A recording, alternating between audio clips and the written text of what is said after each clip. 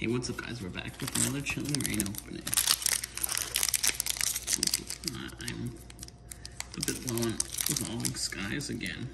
So I decided to open this Chilling Reign pack.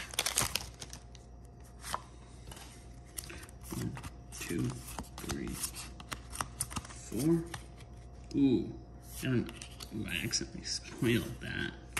But look, we got Shadow Rider Calyrex VMAX.